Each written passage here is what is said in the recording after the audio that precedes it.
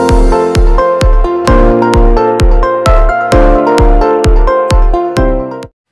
सो friends आइए start करते अपना आज के वीडियो को। चैनल पर नए तो सब्सक्राइब कर लीजिए और बेल आइकन पर नोटिफिकेशन पर क्लिक कर लीजिए ताकि आपको आने वाले सभी नोटिफिकेशन रिगार्डिंग हमारे वीडियोस रेगुलरली मिलते रहें। अगर आप एक ई व्हीकल परचेज करना चाहते हैं और यहाँ पर लोन पर परचेज करना चाहते हैं ई व्हीकल तो आपके लिए बहुत ज़्यादा इंपॉर्टेंट होने वाला है वीडियो बिकॉज़ इनकम टैक्स में आपको यहाँ पर डेढ़ लाख के इंटरेस्ट की यहाँ पर छूट मिलेगी अगर आप लोन लेते हैं ई व्हीकल पर। लगातार यहाँ पर जो है पेट्रोल के प्राइसेस बढ़ रहे हैं। लोग अब ई व्हीकल पर आ रहे हैं तो अगर आप ई व्हीकल परचेज करते हैं तो ये सेक्शन आपके लिए जानना बहुत ज़्यादा ज़रूरी है सर तो यहाँ पर इनकम टैक्स के अंदर छूट दी गई है section eighty double E B के अंदर।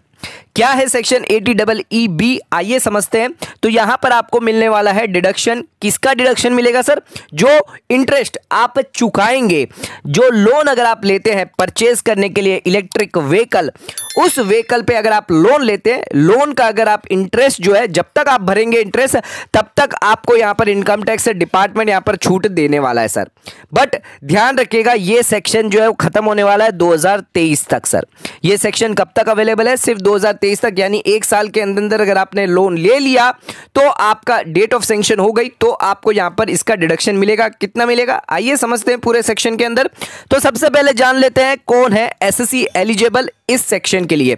यानी कौन एससी यहाँ पर जो इलेक्ट्रिक व्हीकल अगर परचेज करता है तो कोई भी सर कोई भी इंडिविजुअल कोई भी पर्सन हो सकता है यहाँ पर इंडिविजुअल यानी आम आदमी अगर आप इंडिविजुअल है सर यहाँ पर कंपनी फर्म एच की बात नहीं कर रहे हैं। यहाँ पर अगर आप एक आम आदमी है इलेक्ट्रिक व्हीकल परचेज करते हैं।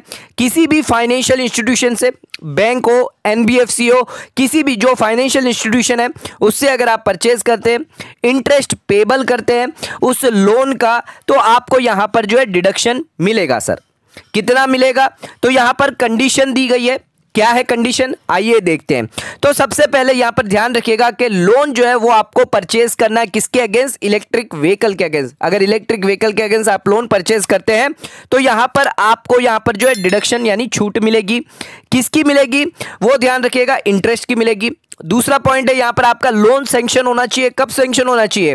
एक अप्रैल 2019 से लेकर 31 मार्च 2023 तक। यानी एक साल का और अभी चांस आपके पास है। अगर एक साल के अंदर अगर आप इलेक्ट्रिक व्हीकल परचेज करते हो तो इस सेक्शन का बेनिफिट उठा सकते हो अगर आप लोन पे लेते हो सर तो यहाँ पर एक अप्रैल से लेकर इकतीस मार्च दो हज़ार तेईस तक आपका जो लोन है, वो सेंक्शन होना चाहिए। तीसरी कंडीशन कोई भी फाइनेंशियल इंस्टीट्यूशन होना चाहिए, कोई भी एनबीएफसी होनी चाहिए।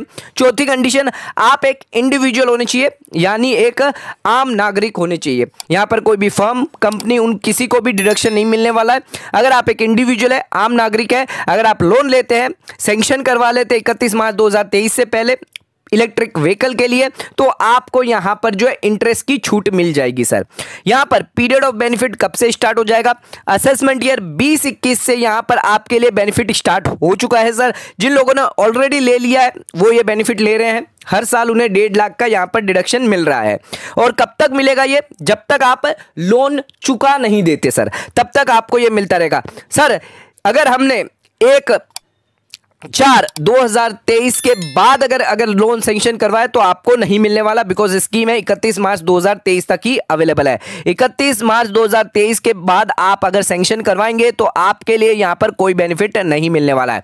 बट 31 मार्च से पहले, अगर 31 मार्च को भी अगर आपने लोन सेंक्शन करवा लिया है तो अगले आने वाले जितने भी साल जब तक आप रिपेमेंट करेंगे, चाहे दो हज़ार तेईस, चौबीस हो, पच्चीस हो, छब्बीस हो, सत्ताईस आपको यहाँ पर जो है, उसका इंटरेस्ट का बेनिफिट मिलेगा। तो इकतीस मार्च तक आपके पास समय दिया गया है। ध्यान रखिएगा, कितना डिडक्शन मिलेगा सर? डेढ़ लाख तक का मैक्सिमम मिलेगा। अगर आपका इंटरेस्ट अमाउंट दो लाख का है सालाना तो आपको डेढ़ लाख तक ही मिलेगा। उसके बाद अगर आप इस इस सेक्शन के अंदर डिडक्शन ले लेते तो उसके अलावा आप कोई भी अदर सेक्शन में डिडक्शन नहीं ले पाएँगे। ध्यान रखिएगा फाइनेंशियल इंस्टीट्यूशन किसे कहेंगे? बैंकिंग कंपनी को बैंक होगी उसे, या कोई एनबीएफसी है, उसे भी यहाँ पर आप लेंगे लोन तो भी चलेगा सर। इलेक्ट्रिक व्हीकल कौन सी होनी चाहिए सर? इलेक्ट्रिक मोटर वाली जो व्हीकल होगी, उसी को इलेक्ट्रिक व्हीकल यहाँ पर माना गया है।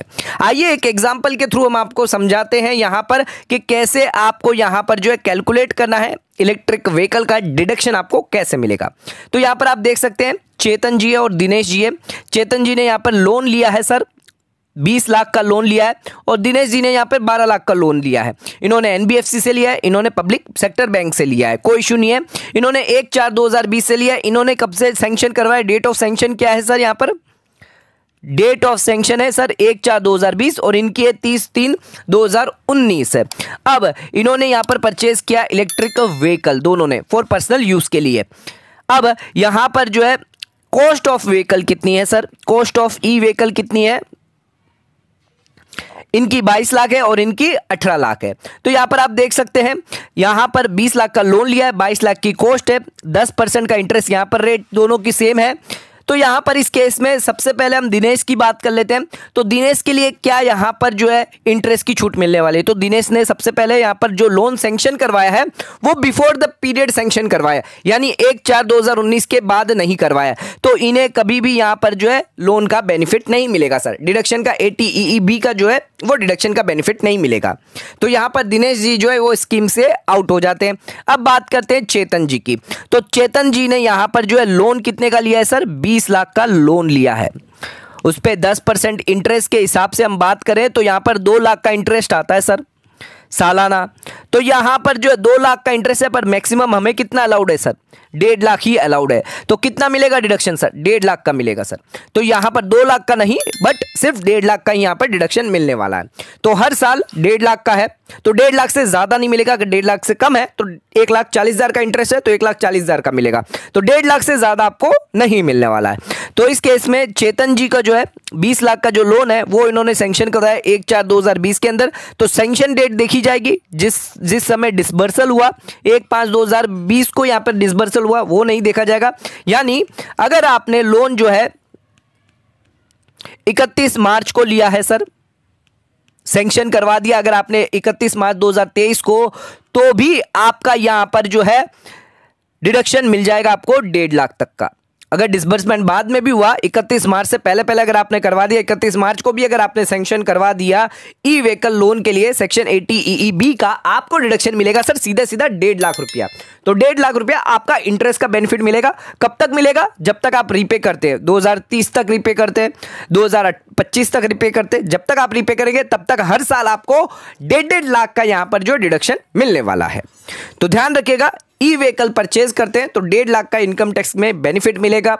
एंड आप इंडिविजुअल होने चाहिए। और ये जो सेक्शन है, वो सिर्फ़ यहाँ पर जो है, आपको इंटरेस्ट पे ही बेनिफिट देता है अगर आप लोन लेते हैं ई व्हीकल पर। सो आज का वीडियो पसंद है। चैनल को लाइक और सब्सक्राइब ज़रूर करेगा। ज़्यादा ज़्यादा शेयर ज़रूर करेगा। धन्यवाद।